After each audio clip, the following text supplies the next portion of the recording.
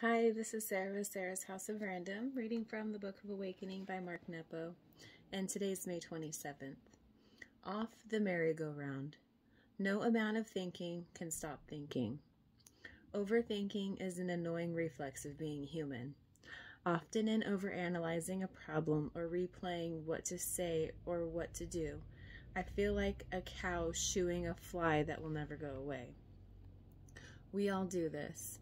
No one is exempt. Feeling insecure, I can endlessly repeat the things that should make me feel solid about myself, and all the while my esteem keeps unraveling. What is there to do? I'm reminded of Einstein's insight that the manner of thinking that creates a problem cannot be the means by which to solve it. In simple terms, when spinning out, the only thing to do, hard as it seems, is to get off the mental merry-go-round. This is truly the terrain of faith, jumping into the risk to stop in mid thought, believing that some deeper knowing will wash over us.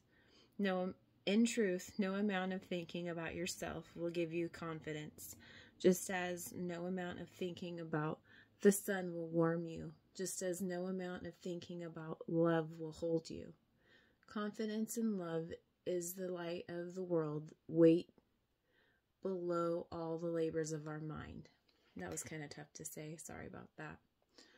Um, meditation for today. Sit quietly and center yourself.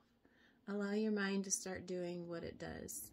Breathe steadily, and with each in breath, practice stopping your thinking in mid thought. With each out breath, practice dropping beneath your thinking into your being.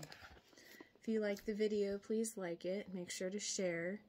Subscribe for more, hit that notification bell. You can leave a comment or you can email me in the email address in the description box below. Hope you all have a lovely day and a good Memorial Day weekend. I love you.